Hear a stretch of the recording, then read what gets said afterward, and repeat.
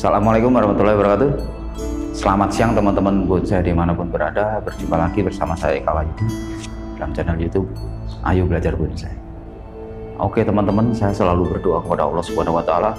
Mudah-mudahan kita semua selalu diberikan kesehatan, keselamatan, rezeki yang barokah dan panjang umur. Dan di era COVID-19 ini, mudah-mudahan kita dihindarkan dari virus COVID-19 dan disehatkan badan kita. Dan saya selalu berharap kepada teman-teman supaya selalu mematuhi protokol kesehatan dengan cara mencuci tangan, memakai masker, dan menjaga jarak ya teman-teman ya. Supaya kita terhindar dari virus COVID-19. Amin ya rabbal alamin. Oke ya teman-teman ya langsung aja tetap masih membuat karya di dalam rumah saja karena COVID belum berlalu ya teman-teman. Di samping saya ada sebuah pohon yang sudah saya proses tiga bulan yang lalu ya. Karena prosesnya ini waktu itu proses perantingan kembali ya membuat ranting uh, uh, sorry proses percabangan kembali ya ini judulnya yang kemarin ya. Karena mahkotanya mati ya dan ini saya arahkan ini mahkota penggantinya ya. Udah tiga bulan teman-teman. Dan proses pengawatan nih kawannya udah terlalu dalam nih. Sangat subur sekali ya teman-teman ya. Maka proses hari ini saya akan melepas kawat kemudian uh, mempruning dan menseleksi ulang ya percabangan barunya ya teman-teman ya Oke ikutin ya teman-teman ya. Oke teman-teman ya proses pertama mungkin saya akan pruning-pruning dulu ya supaya kelihatan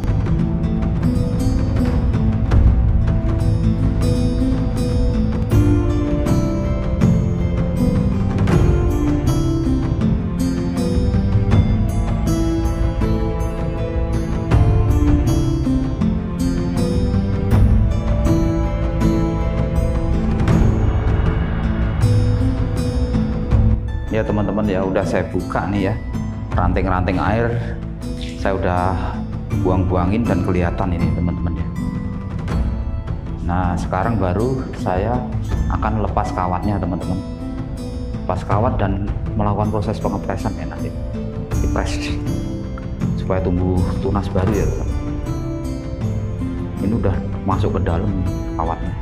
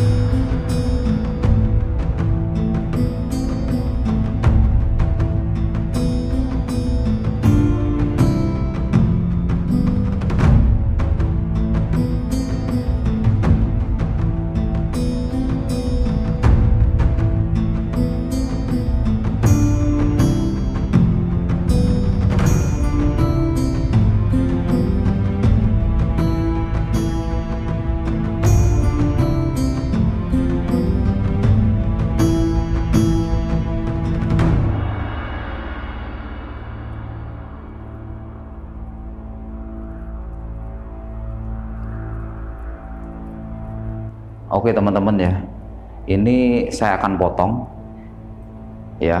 Nanti tujuan saya nanti biar ada pertumbuhan lagi tunas baru lagi yang lebih dari satu tentunya ya. Kalau ini kan terlalu jauh ya, karena ini nanti bakalan jadi mahkota nanti ke sininya teman-teman ya.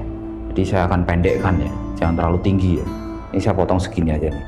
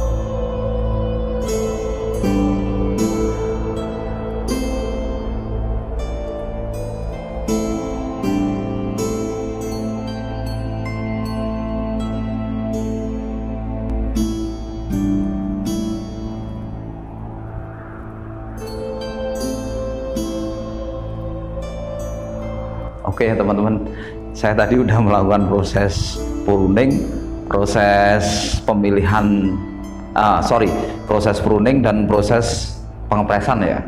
Ini saya udah press-pressin, ini hasilnya.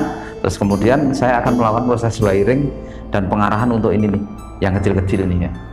Terus kemudian nanti saya nunggu pertumbuhan ini selanjutnya, baru proses lagi ya teman-teman ya. Oke ya teman-teman.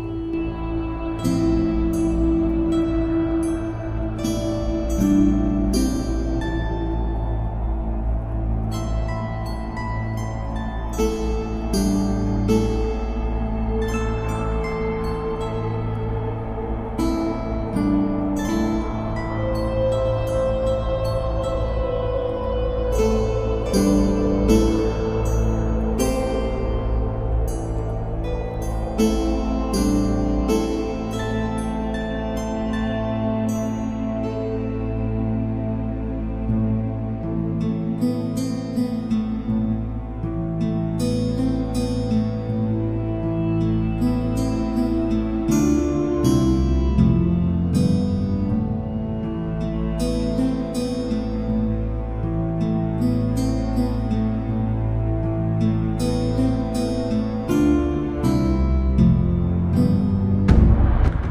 Oke ya teman-teman ya, saya udah melakukan proses wiring, kemudian saya baru melakukan proses pengarahan ya teman-teman.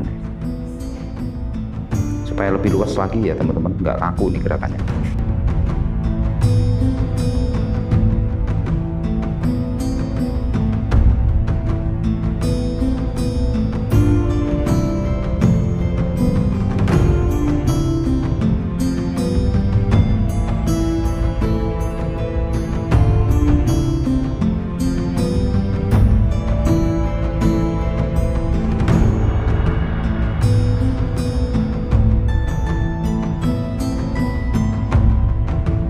Teman-teman ya selesai ya.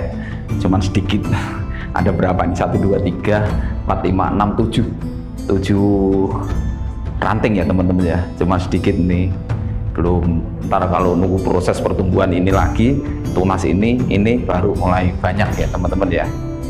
Jadi uh, proses hari ini season siang hari ini selesai ini teman-teman ya. Ini hasil akhirnya saya tinggal nunggu proses pertumbuhan ini tunas-tunasnya ini nanti ya. Dan ini hasil potongan tadi saya udah kasih salep kambium gitu untuk menutup pori-porinya ya. Ya. Terus kemudian saya akan bersihkan ini biar kelihatan nih teman-teman nih. Tumbuhan liar nih rumput nih. Ini tanaman pengganggu nih teman-teman. Harus dibersihkan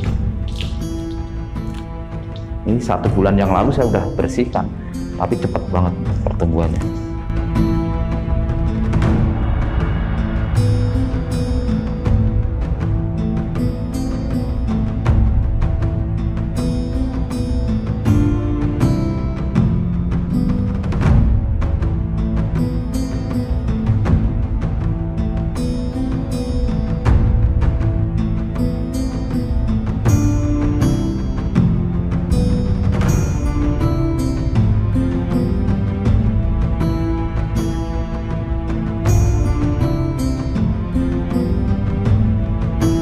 Oke teman-teman, selesai teman-teman ya. Saya sudah melakukan proses pengarahan pohon uh, tanaman sorry tanaman pengganggunya saya sudah cabut-cabutin hasilnya. Ini bentuk penampakan akarnya teman-teman. Ya, ini prosesnya lama sekali ya teman-teman. Ini waktu itu saya masih benar-benar proses belajar ya teman-teman. Akarnya dinaikin, dipecah-pecah ya teman-teman. Ini hasilnya. Ini prosesnya udah tujuh tahun lebih teman-teman. Ini proses ini ya ini teman-teman. Ini hasilnya ini ini ada kematian teman-teman. Tapi ini masih sering tumbuh tunas. Seharusnya saya akan rapikan akan tetapi biarin aja dulu. Takutnya nanti ada mati di sini saya nggak ada cadangannya ya teman-teman ya. Nih bekas pecahannya ya. Salep kambiumnya banyak sekali tentunya ini. Ini. Ini hasil dungkelan ya teman-teman ya. Hasil dungkelan terus kemudian diprogram di pot dinaikin dikit-dikit ya. Akarnya ditarik-tarik ya. Yang udah hidup tentunya akar yang udah hidup. Terus kemudian dipecah-pecah sama saya supaya kelihatan karakter tuanya kelihatan ya teman-teman ya. Jadi ini hasil akhir uh, Tamarindus indica ya. Asam jawa yang sudah saya proses lebih dari 8 tahun lebih ya ini 8 tahun lebih. Memang bonsai itu nggak ada yang instan itu menurut saya dan saya pun nggak pernah ngeground bonsai saya karena nggak punya lahan ya. Sebenarnya pengen sebenarnya pengen seperti teman-teman yang lain ya. Di ground supaya lebih cepat besar supaya lebih cepat jadi ya. Nggak ada lahan ya teman-teman. Jadi ya seadanya aja ya. Kadang-kadang dibikin di pot yang besar ya semi ground. Pot yang besar dikeluarin lagi akarnya ditaruh pot-pot lagi gitu ya. Itu tapi kalau asam jawa ya nggak bisa sih. Yang bisa fakes ya kayak gitu ya asam jawa bisa cuman ya jarang sekali. Paling ditanam di tempat uh, sorry ditanam di pot yang besar ya. Oh ya mengingatkan untuk teman-teman yang baru bergabung supaya saya lebih semangat lagi. Jangan lupa like komen subscribe dan nyalakan lonceng notifikasinya supaya teman-teman mendapatkan update video terbaru dari saya dan tentunya saya sendiri lebih semangat lagi ya membuat uh, tutorial tentang bonsai ya teman-teman ya. Dan ini saya peruntukkan untuk teman-teman semua supaya supaya teman-teman semua lebih semangat lagi ya konten saya ini sebenarnya membuat semangat teman-teman pemula ya, teman-teman yang baru hadir nih, supaya semangat membuat bonsai ini ya, sehingga bonsai di tanah air kita ini wah lebih hebat lagi ya itu, utamanya bonsai kita ya, bonsai Indonesia ya teman-teman ya. Mungkin itu ya yang bisa saya sharingkan di siang hari ini. Mohon maaf bila ada kekurangan. Sekian dari saya, akhirul kalam. Bila itu Wassalamualaikum warahmatullahi wabarakatuh. Salam bonsai.